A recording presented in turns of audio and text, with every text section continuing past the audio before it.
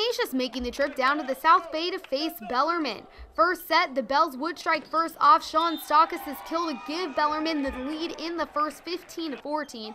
But the Wildcats said not so fast. SI's Ian Watts goes from defense to offense to keep the Cats in the game and extend the set 25-24 Wildcats. Bellarmine would retake the lead and put the Cats in a tough situation, leading to Will Smith smashing it down to take game one.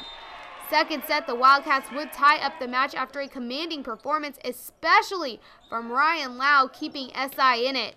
Third set, not much change. The Cats were in full control and breezed through the Bells again thanks to Lau. He's killing it. The Cats take the lead 2 to 1.